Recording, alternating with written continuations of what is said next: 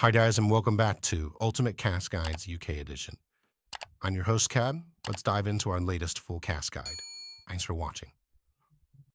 The Likely Lads is a charming 1976 British comedy film that offers a delightful blend of nostalgia and humour, based on the popular TV series The Likely Lads and its sequel, Whatever Happened to the Likely Lads.